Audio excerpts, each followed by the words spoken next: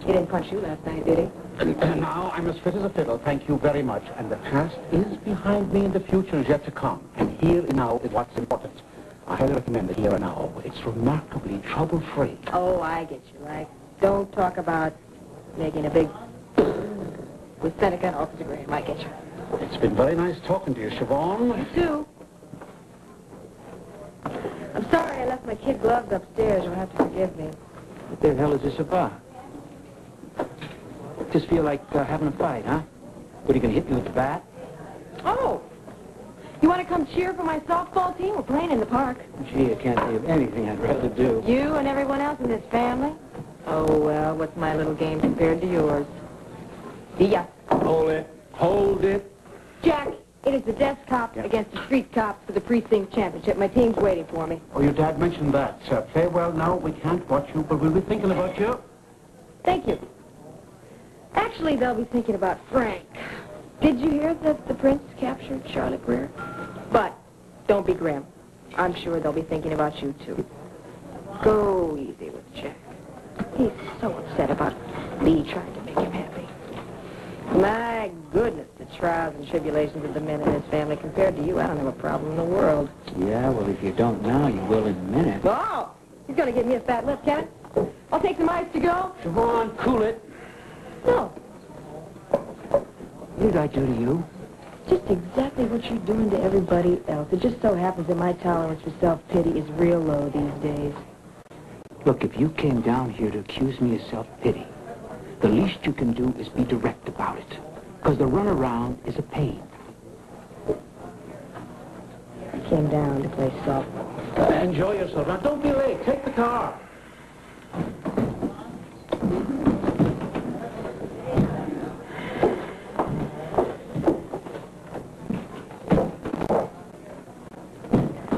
You're right.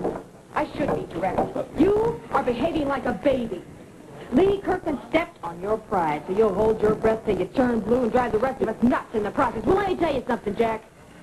Daddy doesn't need you punching out his customers. Julian doesn't need to spring you from jail in the middle of the night. Ryan doesn't need her father acting like a jerk. Oh, man! You have no excuse for doing it. What's so tragic, Jack? That Lee made a mistake? Well, big deal. She's imperfect. She'd have to be to love you.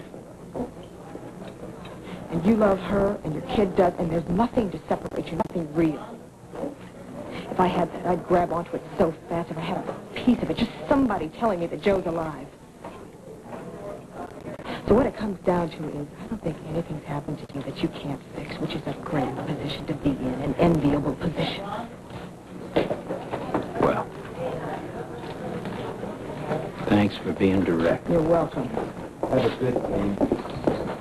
Did any of that take? Sure. Have another beer. Oh, you're mad. I knew it. I knew it.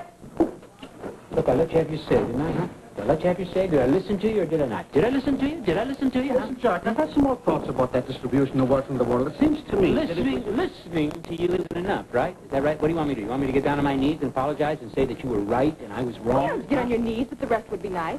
Quit playing Mary, okay? You quit playing the oaf she married. If you really did listen to me, Jack, you'd know who deserves the apology. Are you going to use that thick skull of yours and go to her? Who, Lee? Who else? No. Why not?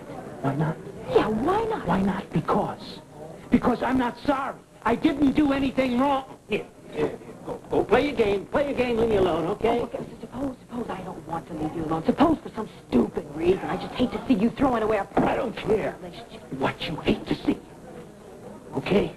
You get the misery award, all right? You and Joe, you got the misery award for the month, all right? Okay, you get, it comes with a full supply of pot shots at my, my self-pity. But does not come with the right to run my life. Oh, well, I wouldn't touch your life with a ten-foot pole, you selfish, pig-headed son. On softball game. When you apologize to Lee, Never. when you do, hope it's too late. Oh, and a pleasant day to all of us.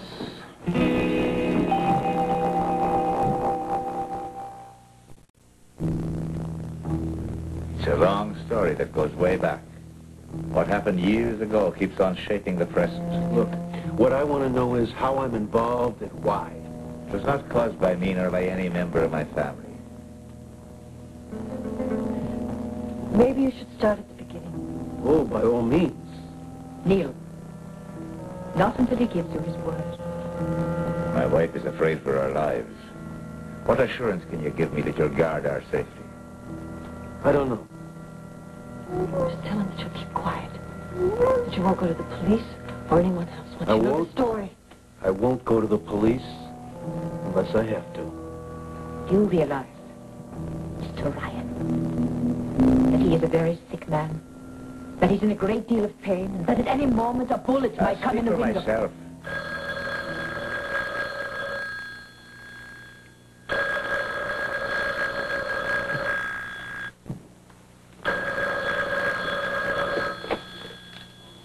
Hello.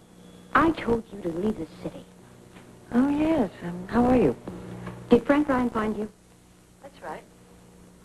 If you dare say anything that implicates me in any way, you will pay. Understand me, Charlotte. You will be sorry for the rest of your life.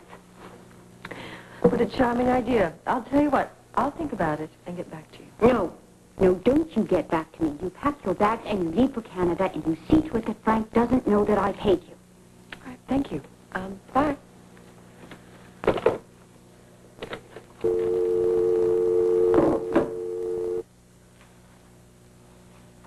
There's no crime you'd have to report. You'd just be silent to protect our lives. You'd do that. Yes. Then please tell him. All of it. All right, Mr. Ryan. I place myself and my family in your hands.